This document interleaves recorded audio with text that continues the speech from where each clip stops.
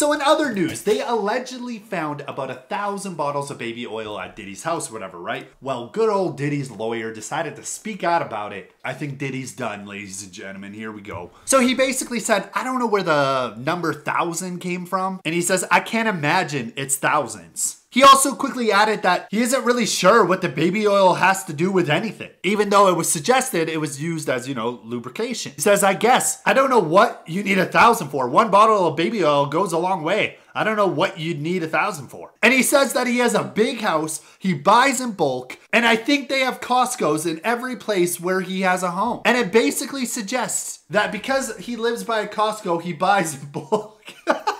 Bro, Diddy's own lawyer just cooked him. Oh my, like, uh, dude, Diddy is done, bro. His lawyer basically said the reason why Diddy has a thousand bottles of baby oil is because he buys in bulk at Costco. That has to be a world record.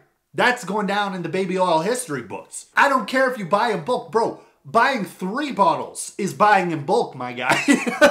I mean, honestly, it's not funny. Like the allegations, accusations, it's disgusting. It's bad. but wow, I don't even know.